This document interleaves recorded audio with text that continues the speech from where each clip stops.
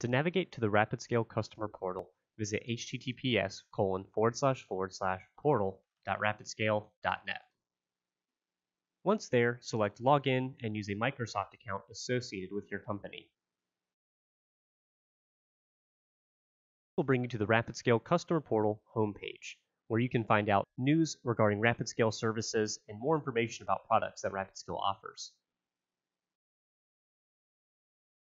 On the left-hand side, you'll find the portal navigation. Select My Cases to see support cases that you have opened. To open a new case, select Create New Case. When opening a case, the subject field will be a brief summary of the issue. The technology dropdown includes all services that RapidScale sells and supports. For this example, we'll be using the Virtual Desktop Infrastructure, or VDI, technology. The subtechnology dropdown includes all products associated with the service you selected above in the technology field. In this case, we'll be selecting Citrix. The problem code field includes a list of potential issues related to the subtechnology and technology selected above that a user may be experiencing. In this case, you'll want to choose the one that's most relevant to the issue at hand.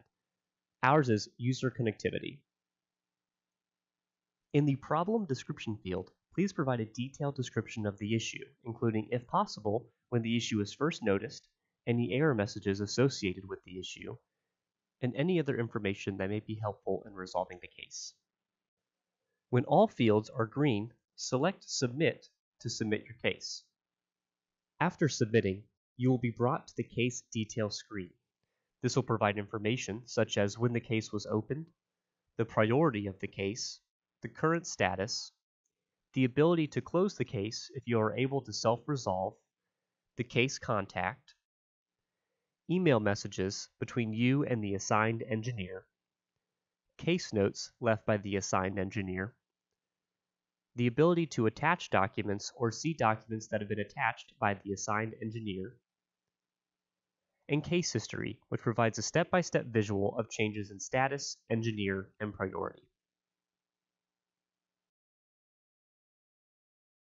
The dashboard page provides a brief overview of your RapidScale account including licensing and other information regarding services purchased through RapidScale. The billing page provides a list of all past invoices, payments, and change orders, and gives you the ability to download these as PDF files. You're also able to export all listed items to a CSV file. The Services page provides a list of all subscribed RapidScale services. It provides a brief description, a quantity, and allows you to export these line items to a CSV file. The usage summary page compares the total usage of each service against the original amount shown on the contract.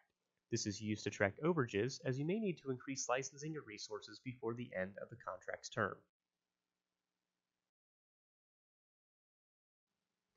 The Microsoft Services page gives you the ability to add and assign Microsoft licensing to users in your tenant. To add licensing, select Manage. This will bring up a list of all Microsoft products that you are currently subscribed to. To add additional licenses for a specific product, select the up arrow or type the difference in licensing in the text box. Select Next to provision your licensing. To assign a license to a user, search or find the user in the user list and select Edit User from the three-dot menu. Under Licensed Products, select the license you would like to assign. Select Update User to confirm the changes. You are also able to create new users. Select the Add User button, type in a username, a first name and last name, and a display name. You're also able to provide more information such as the user's cell phone, department, and office location. This will create a base user in your Microsoft tenant. Any additional configuration will have to be done in the Microsoft admin portal. Only users with administrator roles in the customer portal have the ability to add licensing, add users, and assign permissions. Under the Administrative Tools section, you'll find the Account page.